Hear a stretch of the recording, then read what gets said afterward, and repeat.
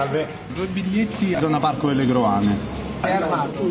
Armato? No, non sono armato. Una battuta, ma solo fino a un certo punto, perché dal 1 agosto tre stazioni della linea ferroviaria Seregno-Saronno in Lombardia chiuderanno per droga ogni giorno, dalle 10 alle 17.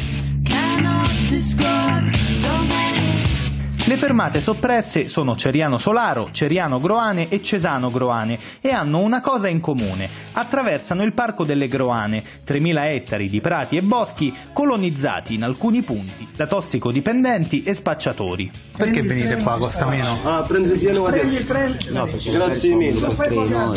È comodo col treno. Parliamo con un tossicodipendente fermato durante un'operazione della Polizia Municipale sulla banchina del treno. Con lui ci sono altre due persone con precedenti per spaccio e rapina. Poi poi ti faccio il foglio di via, qua non ci Va bene, va bene.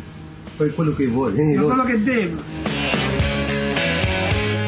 Qui vengono smerciate l'eroina che è tornata in maniera pesante, sintetiche, cocaine, a fumo, eccetera, eccetera. Uno scende dal treno, si addentra nel bosco, compra e consuma e poi si rimette sul treno. Abbiamo poi uno spaccio di tipo diverso dove chi arriva lo fa in macchina o lo fa in moto Il sindaco ci ha prestato una bicicletta e ci ha portato al Parco delle Groane. Le stradine sterrate che lo circondano erano deserte, ma appena ci siamo addentrati a piedi abbiamo trovato una piazza di spaccio a 50 metri dai binari.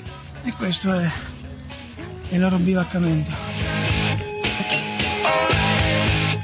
La decisione di saltare le tre fermate per buona parte della giornata è stata presa di comune accordo da Prefettura, Regione Lombardia, Polizia Ferroviaria e Trenord, l'azienda che gestisce il servizio. L'ordine pubblico non è più garantito e io per questo anche ho chiesto l'intervento eh, già da tempo dell'esercito. Ora io chiedo allo Stato di dimostrare che esiste Nel frattempo però qualcuno dovrà arrangiarsi. Gente che lavora da quelle parti viene penalizzato perché ci sono gli spacciatori. Però il paradosso è invece di andarli ad arrestare, che stanno quest'anno là, chiudono le fermate. Credo che possa portare dei benefici proprio perché negli orari di chiusura erano gli orari dalle 10 alle 17, cioè non dei pendolari, quando Sì. la gente non prende il treno per andare a lavorare, erano effettivamente gli orari di, ehm, in cui lo spaccio avveniva di più. Quindi è un- maggior sì. una soluzione.